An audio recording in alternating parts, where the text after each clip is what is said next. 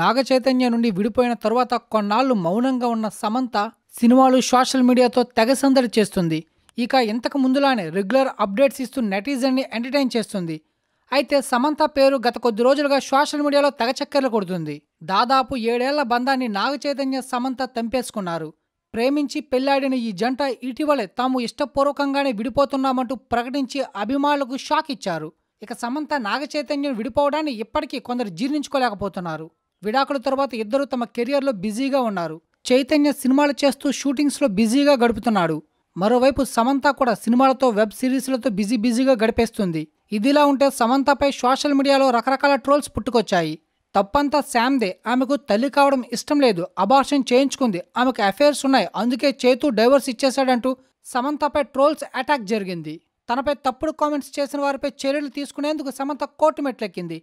అయితే తాను ఒప్పుకున్న కొన్ని ప్రాజెక్ట్స్కి టైం దొరకడంతో సమంత తీర్థయాత్రలకు వెళ్ళింది. డిజైనర్ శిల్పారెడ్డితో కలిసి పుణ్యక్షేత్రాలను దర్శిస్తుంది. ప్రస్తుతం ఆమె ఉత్తరాఖండ్లోని చార్ధమ్ యాత్రకు వెళ్ళింది. దీనికి సంబంధించిన ఫోటోలను శిల్పారెడ్డి తన ఇన్స్టాగ్రామ్లో షేర్ చేసుకున్నారు. అక్కడ సమంత పూజలతో మునిగిపోయింది. ఫ్రెండ్స్తో కలిసి పూజలు చేస్తూ ఆధ్యాత్మిక సేవలో మునిగిపోయింది. సమంత కొద్ది రోజుల క్రితం తిరుపతిలో కూడా పూజలు చేయగా అందుకు సంబంధించిన ఫోటోలు వీడియోలు సోషల్ మీడియాలో తెగ హల్చల్ చేశాయి.